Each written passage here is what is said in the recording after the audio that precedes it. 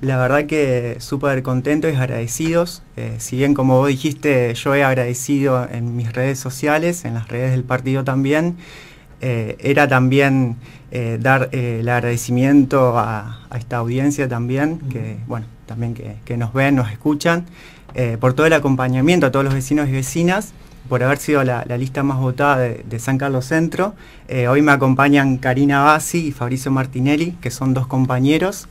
Eh, lo cual hemos trabajado muchísimo con muchas actividades, como comentábamos casi en todos los programas acá, con carpas saludables, actividades, eh, hicimos incluso una bicicleteada, eh, recorrimos los barrios, las instituciones y ahora en esta segunda etapa de campaña es redoblar los esfuerzos para llegar a cada vecino y a cada institución. ¿Por dónde creen que pasó el que hayan obtenido este caudal electoral? ¿Qué, ¿Qué, es lo que creen que usted dijo? Bueno, Tal vez nos ayudó, no sé, esta propuesta, esta imagen, este recorrido, no sé, nuestra historia, que venimos cada uno con nuestra historia. Yo creo que, fue?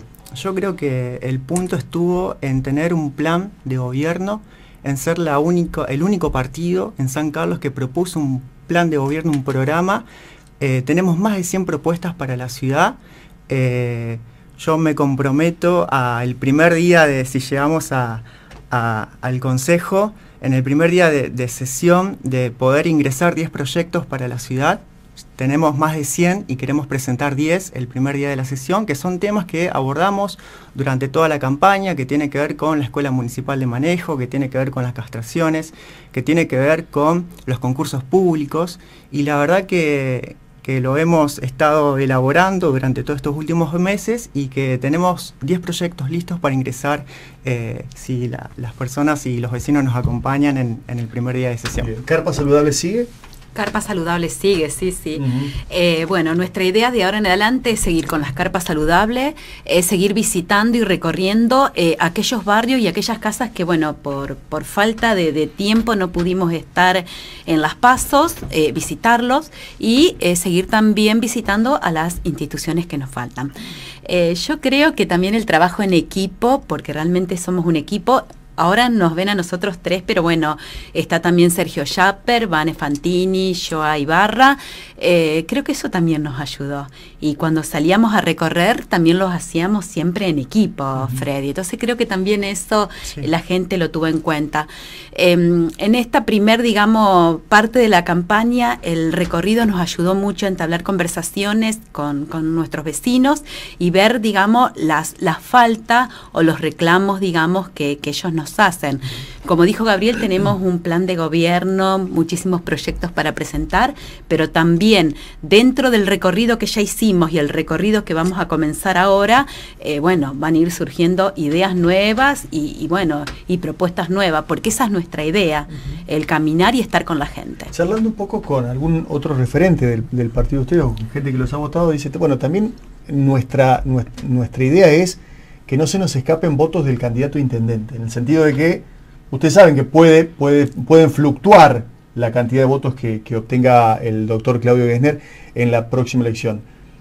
Imagino que, el, grupo está, más allá de que tal vez el resultado para el Ejecutivo no fue el esperado, está consolidado y de hecho este, Claudio cuando estuvo aquí dijo, bueno, nosotros vamos a intentar este, no solamente no, no hacer ningún tipo de alianza, sino incrementar los votos que tenemos. Eh, esto, eh, digo, se va a trabajar íntegramente como equipo de trabajo más allá de las aspiraciones al Consejo y al Ejecutivo. Si bien los vecinos supieron diferenciar lo que es una candidatura intendente y a concejales, como pasa en todas las, otras eh, candidaturas al Senado, a la provincia, son muy dispares los, los votos, sobre todo a nivel provincial. Em, la verdad que nosotros, yo soy un agradecido de, Claudio Gessner por darme la oportunidad de encabezar esta lista y la verdad que todo el equipo sigue trabajando tanto para la campaña para concejales como para intendentes, digamos. Eh, Fabri, eh, eh, tu fuerte es lo, deportivo y en esa historia de lo deportivo me imagino que también hay dentro de algunos de los proyectos, de los 100 proyectos que mencionaba Gabriel, hay muchos que están vinculados a eso, ¿no? Freddy, buen día. Buen día. sí, dentro del plan de gobierno, bueno, como ya lo hemos repetido, por ahí eh, la lista de concejales eh, está compuesta por, por seis personas que vienen de, distintos ámbitos, que cada cual se, especializa en lo suyo, eh, de distintas edades y demás, y eso por ahí también nos permite llegar a, un público mucho más amplio. yo en mi caso, los temas que, que más me, han gustado para poder abordar es bueno, la creación del Polideportivo Municipal, el programa de becas e incentivos para, deportistas amateur, eh, la educación física o deportes para, personas de la tercera edad. Eh, todo esto está dentro del, plan de gobierno, de las 100 propuestas que tiene Alternativa San Carlina para, para la, ciudad. y bueno, reforzar también lo que decía Cari, por ahí nosotros en los en los puerta a puerta que hemos hecho y, estos que vamos a seguir haciendo, por ahí se da un, intercambio con los vecinos, a ver, de uno llegar y decir, bueno, tenemos 100 propuestas, este es nuestro plan de gobierno, contar por ahí las que uno considera que, pueden llegar a interesar más y también estar abierto a escuchar a los vecinos porque cada cual tiene su su reclamo, su crítica constructiva y demás, y por ahí es algo que nos puede ayudar a, dar alguna, alguna otra forma o incluir algo más en, el plan de gobierno y eso está bueno también, que haya un ida y vuelta. Hay mucha gente eh, joven que se involucró en esta campaña política, en, las, en, las, en las cuatro listas eh, que hay como candidato de consejo. Este, y uno, que hace tanto tiempo que está en esto, lo ve como, como algo positivo de que haya en todas las listas gente, gente joven, gente que se atreva a debatir temas que parecía que estaban como estandarizados y, no hay mucho que charlar y, se van rompiendo esas cuestiones con, la, eh, el advenimiento de esta llegada de gente más joven, ¿no? ¿Lo toman así? Sí, lo tomamos de esa forma. Eh, yo creo que es muy positivo.